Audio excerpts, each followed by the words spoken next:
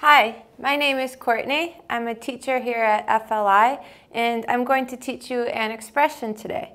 The expression I'm going to teach you is whose side are you on or which side are you on? Okay, so uh, this expression can be used in jest um, when you're making fun of somebody or it could be said in seriousness if someone hurts your feelings.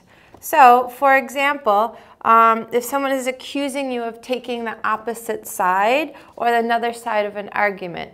Let me give you an example. Um, if your friend Jane comes up to you upset and says, my boyfriend just broke up with me. He said that I'm too boring, okay? And your reply is, well, he's kind of right. Um, you don't really like to do much. And your friend goes, whose side are you on?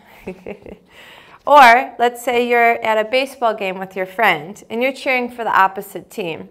And your friend might say, which side are you on? Or whose side are you on? Meaning, why are you cheering for the other team?